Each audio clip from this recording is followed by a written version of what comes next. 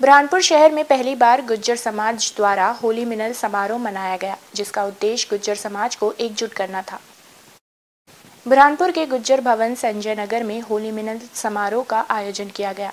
इस दौरान समाज के लोगों ने एक दूसरे को रंग व गुलाल लगाकर होली की शुभकामनाएँ दी।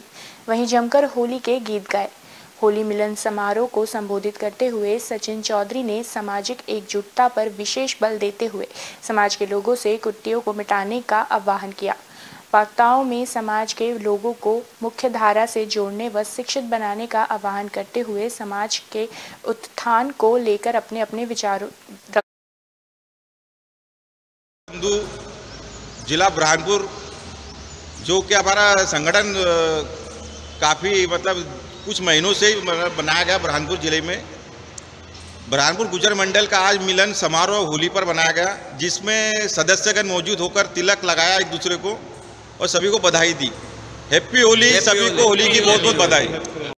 न्यू वीडियोस की अपडेट पाने के लिए सब्सक्राइब करें इंडियन न्यूज़ को और बेल आइकन को दबाएँ। है इंदू ब्रॉडकास्टिंग प्राइवेट लिमिटेड और आप देख रहे हैं इंडियन न्यूज़। हर पल, हर क्षण, हर सच।